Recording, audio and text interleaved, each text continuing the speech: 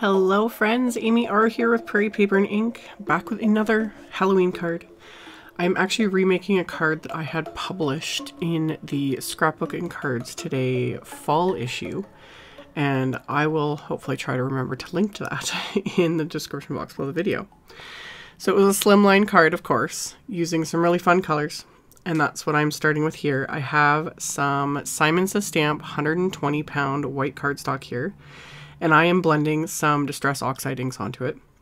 I highly recommend if you haven't tried blending inks onto Simon's 120 pound white cardstock, highly recommend trying it out, especially oxide inks. I, this combo for me is just perfect. Um, Bristol Smooth cardstock is a, a great one for dye inks to blend on um, because the Bristol Smooth has a like that extra coating. Personally, I find that I struggle more with oxide inks on Bristol Smooth. I think the coating just resists the ink a little bit too much, and I just find that I, I don't get the results I want. And then I started blending or using Simon's cardstock whenever. It was a long time ago. And I still get comments from people asking about like ink blending that because they struggle with it. Something I've always struggled with. It's been years of practice and all that stuff.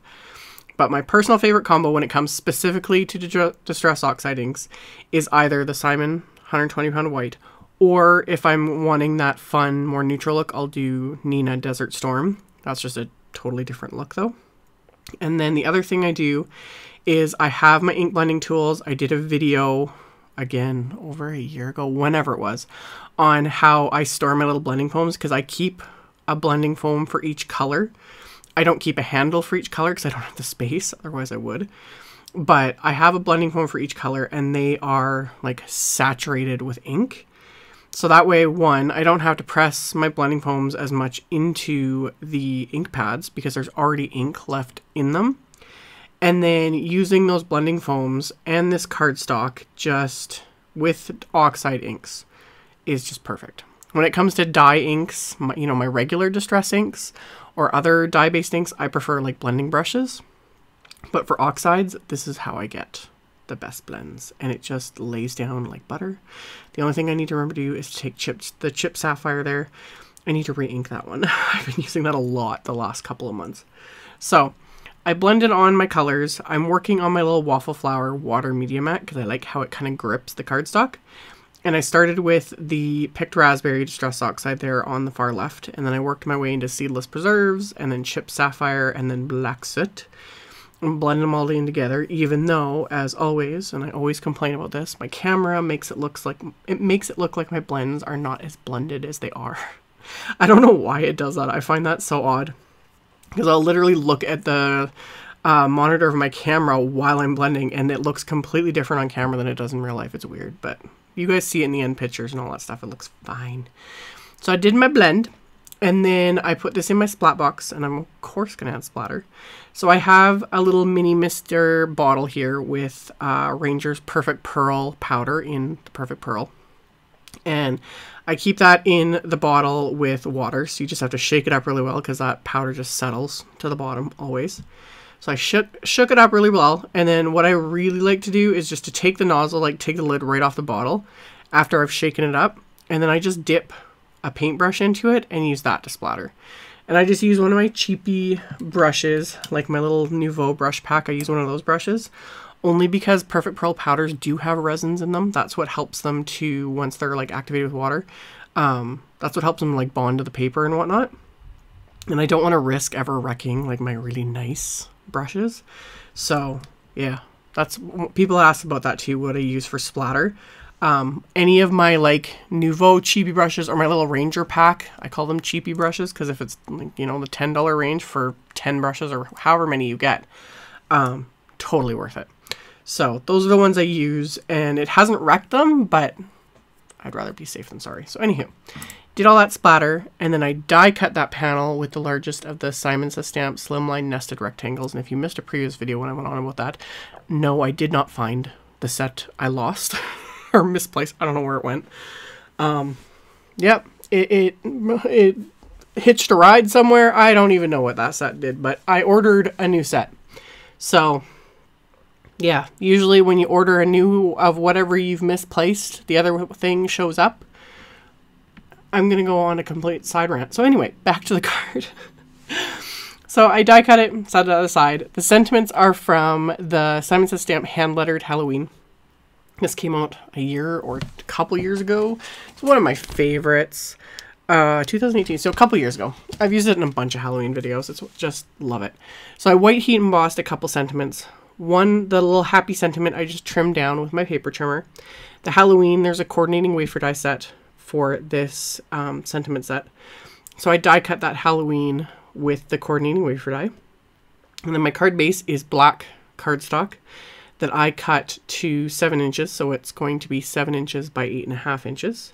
So then I will score this at three and a half inches, and that will make this a three and a half inch by eight and a half inch slimline card. So I just line that up in my little uh, score buddy here, and then flip it around because the score buddy is technically too small for slimline cards. But that is one tool that I, I think I got rid of years ago. The big, the big score pal, um, had that for years, and then they came up with a Score Buddy, which was beyond perfect. And then, yeah, it just, the Score Buddy still works for this. You just have to flip the cardstock around. So, anywho, scored my card base. And then I pulled out the Friendly Ghosts wafer die set, which I've used on at least one of my other Halloween videos this year. This is a set I've used many, many times over the years. And I die cut those Friendly Ghosts using some of Simon's white glitter paper. So I've got everything die cut. Now it's just time to start assembling everything. So for that Halloween sentiment, I die cut a couple more without stamping them or anything. I die cut a couple more from that same pink cardstock, and then I'm going to adhere the top layer to that, so that gives it that dimension, so I don't have to sit and fiddle with little bits of foam tape and that sort of thing. So that just gives it that dimension that I want. So once I've got those adhered together, I can start um, adhering all the elements to my card. So I'm going to adhere my sentiments, and then all of these little ghosts that I die cut from that white glitter paper, those I'm going to pop up with just little bits of um, thin 3D foam squares. So it pops them up a little bit, but those aren't as thick as standard. Um, the regular foam squares are just, you know, standard dimensionals, that sort of thing. So I'm going to pop several of these onto my card, just kind of making it look like they're floating into this fun, spooky, pinky purple sky. So adhered all those into place. And then um, I'd also white heat embossed a couple more sentiments from that hand lettered Halloween set onto those same um, plum and pink cardstocks. The one I die cut with a coordinating wafer die, and the other one I trimmed down just like I did for the sentiment on the front. I'm going to adhere those to the inside of this card base. When I have dark cardstock card bases like this, I either line the inside with a lighter cardstock like white or just a light color that coordinates, or I will just keep the card base as is with really dark cardstock, and then when I go to write to the recipient, I'll just use like a gel pen or a glitter pen, anything that will show up on dark cardstock. So most of the time, I'll use some form of gel pen. So, and it just kind of keeps the fun going, having, you know, a block card base like this. So after I did that, my, of course I'm going to add just a little bit more bling. So I have my Studio Katia iridescent star crystals, another absolute, absolute favorite of mine that I've used a million times. Absolutely love these. So sprinkle those throughout this entire card front. And then I just adhere them into place with dabs of the Craft Tacky glue. Just picking them up with my jewel picker press them into the glue, and then just gotta let that glue dry. And then once this card was complete, I paired these with just some Simon Stamp Cotton Candy Pink um, slimline envelopes, just to kind of pull in a bit more pink, because why not? It's an unexpected color for Halloween, and I just love it. So that was my video for the moment. As always, I will have a link below the video to my blog post. I'll have a supply list. I'll link to all the supplies I used. So you can check that out in the description box below the video if you're interested. Thank you all so much for watching and subscribing and thumbs upping and commenting. I really appreciate it. And I will see you all very soon in the next video. Bye.